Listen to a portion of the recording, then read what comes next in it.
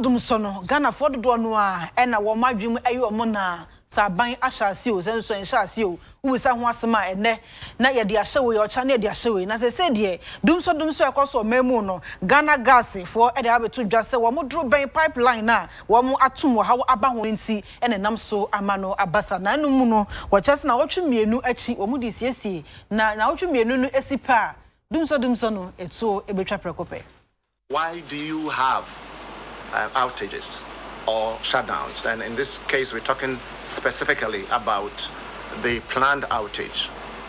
A couple of reasons. First, it's really to meet insurance and warranty requirements and also to preserve the integrity of your facility. And, and uh, sometimes you just want to also have some modification or addition to an existing system. And that is particularly why we are actually gathered here today. The fact that we are looking at now interconnecting Ghana Gas's pipeline system with that of WAPCO. Certainly, when, when that happens, more often than not, you would have to shut both systems down. And it's not just a matter of just joining two pieces of pipe.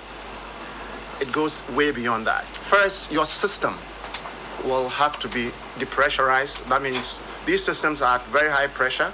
You have to depressurize them. And you also have to make them inert.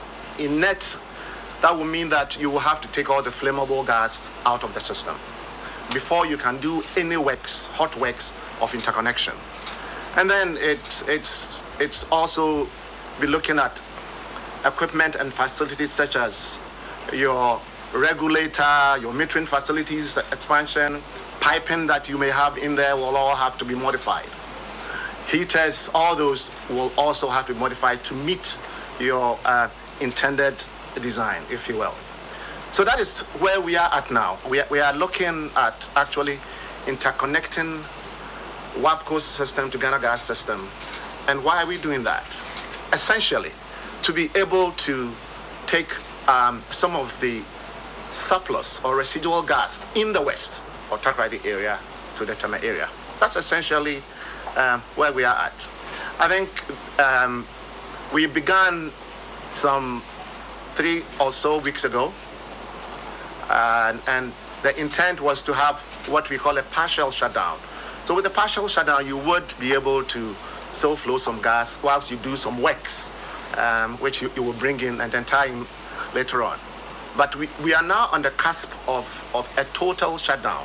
A total shutdown means there will be absolutely no gas flowing through those two systems. So the impact is simple. You, you would have to make sure that you have an alternative facility or an alternative fuel source to substitute for the gas that will be um, out, if you will, for the next 10 to 12 days.